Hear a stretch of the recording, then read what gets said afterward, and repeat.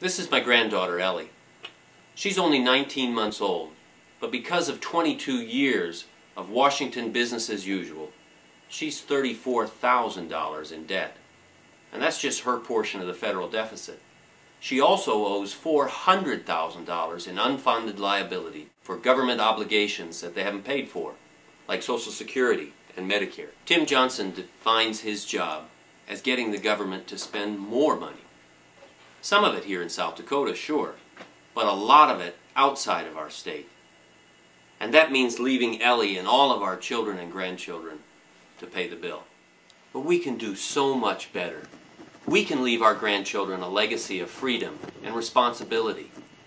We need to make hard decisions to build a better America, not take the easy way out and spend the money now to get reelected, leaving Ellie and the rest of her generation with only a box of IOUs to remember us by. I'm Joel Dykstra, running for the U.S. Senate, and I need your vote on November 4. I will work to change the Washington culture of entrenched incumbents and never-ending spending, and I'll work to make a better America for all our kids.